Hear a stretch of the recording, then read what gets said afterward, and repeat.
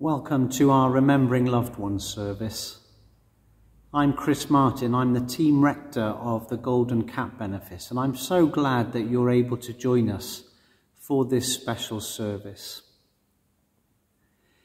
In the Church's life, and indeed in the life of the nation, this time of year, and especially the month of November, is very much a time for remembering.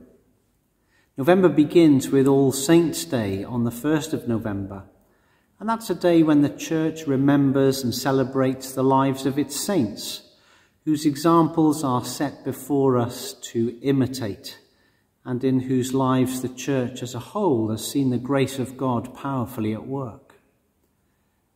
And then on the 2nd of November, the Church celebrates All Souls' Day, a day for remembering all those people in our own lives who have shown us something worthy, who have enabled us to grow in faith and in love, whose memories we cherish, and whose legacy lives on in us.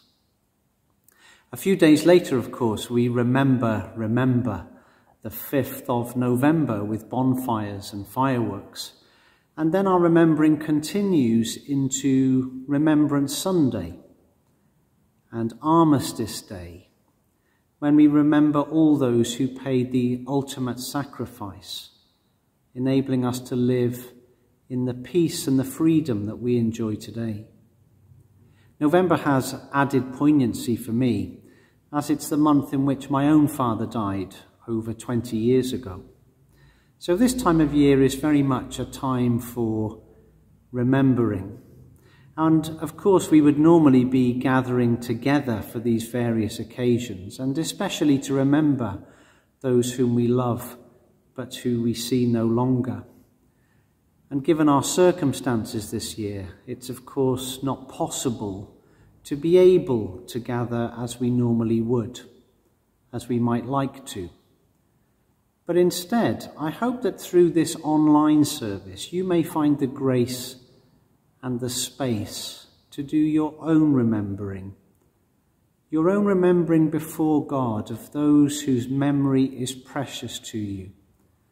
I hope it will be a chance to reflect, to pray, and if you wish, to light a candle in memory of the person that you love.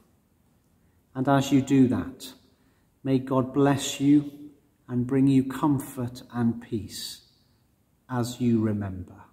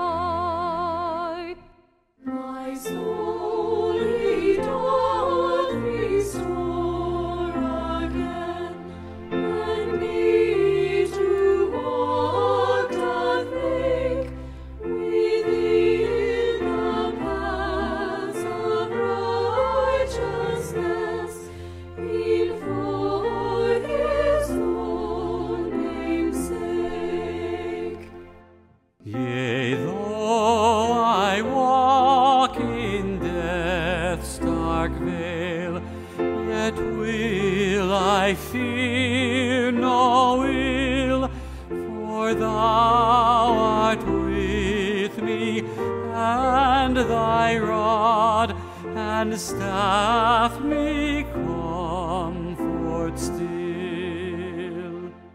My table, though.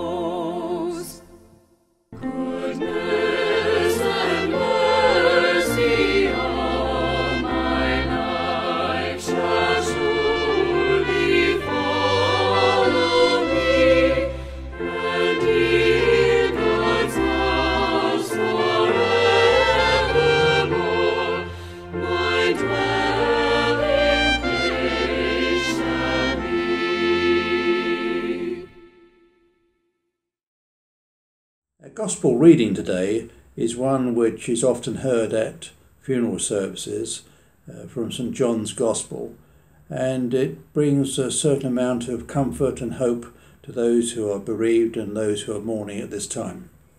And it comes from chapter 14 of St John's Gospel, beginning at verse 1. Do not let your hearts be troubled. Believe in God. Believe also in me. In my Father's house there are many dwelling places. If it were not so, would I have told you that I go to prepare a place for you? And if I go and prepare a place for you, I will come again and will take you to myself, so that where I am, there you may be also. And you know the way to the place where I am going. Thomas said to him, Lord, we do not know where you are going. How can we know the way? Jesus said to him, I am the way, and the truth, and the life. No one comes to the Father except through me. This is the gospel of Christ. Well, that reading that we just heard from John's Gospel is a very popular choice at funerals. And it records part of the conversation that Jesus is having with his disciples, his friends, shortly before his own death. Sometimes we get to have those conversations, don't we, with our loved ones shortly before they die, and, and sometimes we don't. Sometimes it's just not possible. Jesus has been trying to explain to his friends that he will be with them only a little while longer and that he has to leave them. And his disciples are struggling to understand what he is saying to them. They treasure Jesus' presence. They've been with him for three years. They know his friendship, his joy, his wisdom, his life, his love, his sense of purpose, his enthusiasm for life. And, and here he is saying that he has to go, he has to leave them. Where's he going? Why does he have to go? Why, why now? Why did it turn out like this? These are often some of the questions that we find ourselves asking when somebody whom we love is no longer with us. I find that Jesus' words to his friends offer some very deep reassurance. He says to them, Do not let your hearts be troubled. You know, Jesus can see the trouble in their hearts. Jesus is aware of their sense of shock and bewilderment and confusion and anger, even. You know, the grief that we experience when a loved one dies is not hidden from God. Jesus understands the pain and the grief and the feelings of loss that we experience. Because he knows his friends so intimately, he's able to see into their hearts and he understands their anguish. God in Christ knows our grief. And Jesus then looks upon it with compassion and seeks to offer reassurance. Do not let your hearts be troubled. Believe in God. Believe also in me. There are many rooms in my Father's house. If it were not so, would I have told you that I go and prepare a place for you? And he continues, If I go and prepare a place for you, I will come back and take you to be with me, so that you also may be where I am.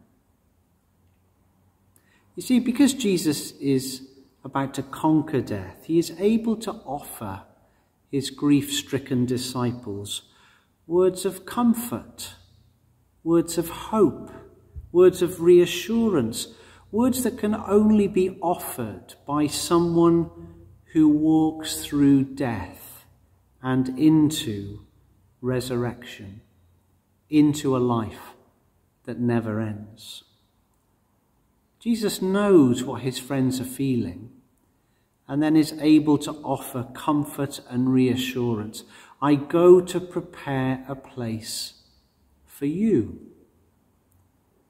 Not only will I find a way through death, says Jesus, but I'm going to come back and take you through it too, to the place I'm getting ready for you, to one of the many rooms in what Jesus simply calls his Father's house. And Jesus' words echo through the centuries to us because this is the Christian hope of resurrection.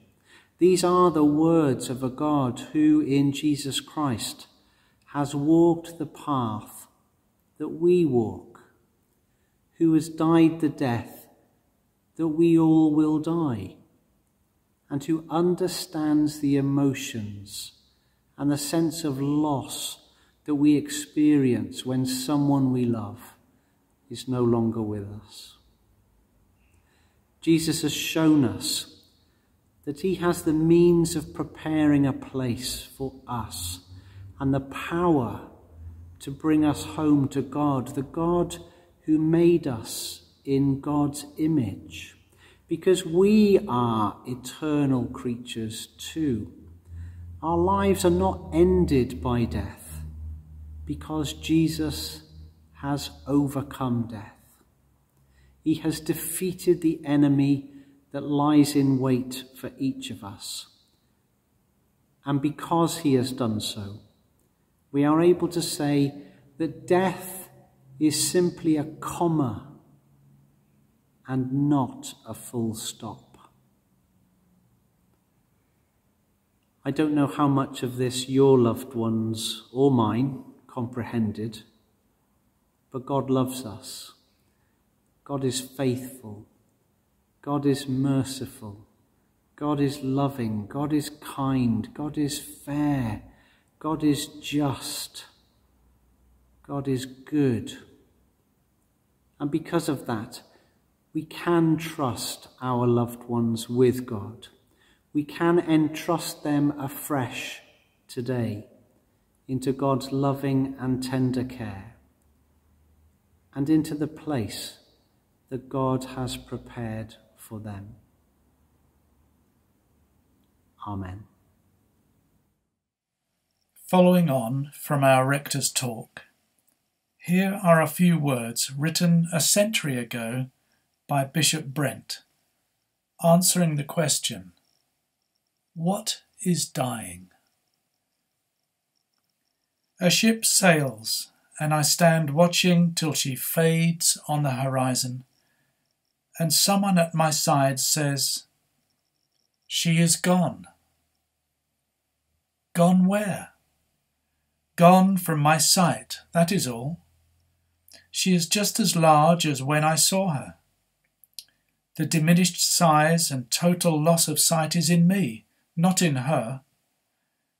And just at that moment, when someone at my side says, She is gone, there are others who are watching her coming. And other voices take up a glad shout. There she comes!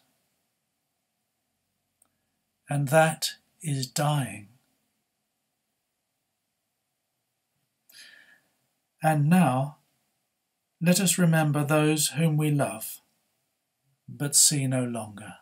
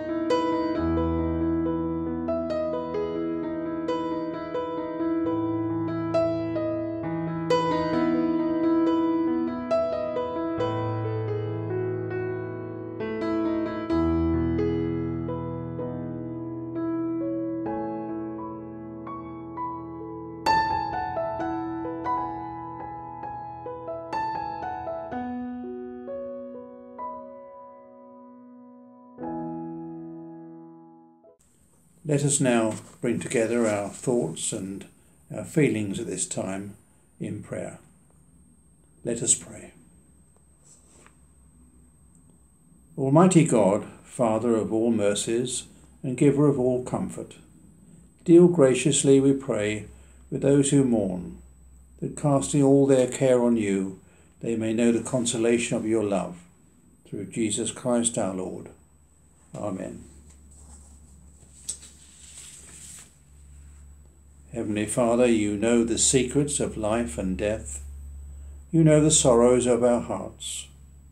Give us your comfort and peace, and help us to trust you for the future, that we may face every new circumstance of life with courage, patience, and hope.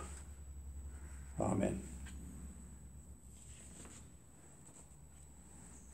Bring us, O Lord God, at our last awakening into the house and gate of heaven, to enter into that gate and dwell in that house, where there shall be no darkness nor dazzling, but one equal light, no noise nor silence, but one equal music, no fears nor hopes, but one equal possession, no ends nor beginnings, but one equal eternity, in the habitation of thy glory and dominion, world without end.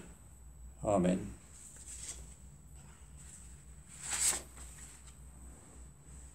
The sun will no more be your light by day, nor will the brightness of the moon shine on you, for the Lord will be your everlasting light, and your God will be your glory. Your sun will never set again, and your moon will wane no more. The Lord will be your everlasting light, and your days of sorrow will end. Amen. The Collect for today.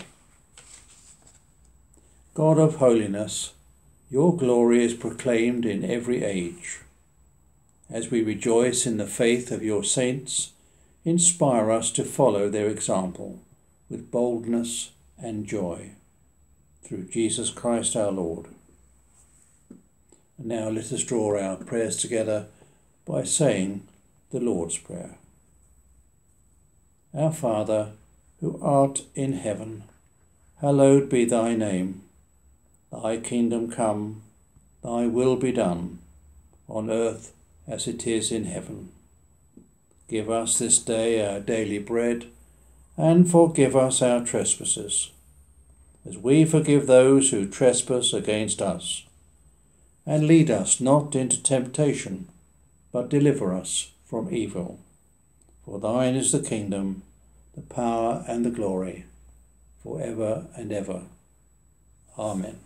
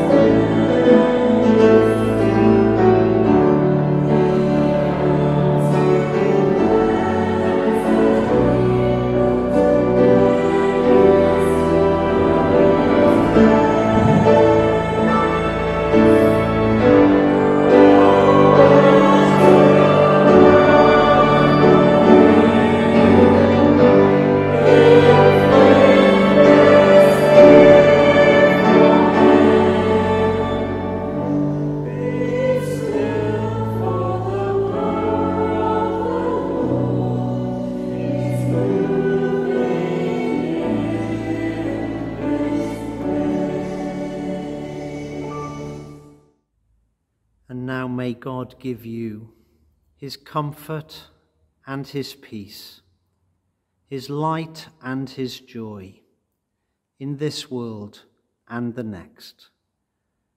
And the blessing of God Almighty, the Father, the Son, and the Holy Spirit be with you and all those whom you love and remember, today and always.